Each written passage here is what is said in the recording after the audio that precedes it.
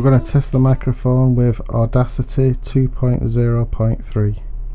The recording rate is set to 48 kHz. This audio editing software is free to download. I'll put a link in the description.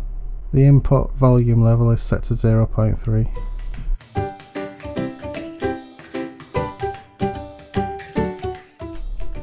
This is a test of the Blue Yeti microphone in stereo mode. This is the left side, this is the center, this is the right side.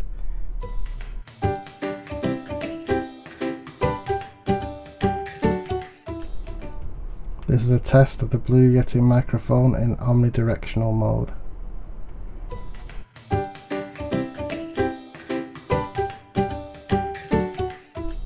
This is a test of the Blue Yeti microphone in cardioid mode.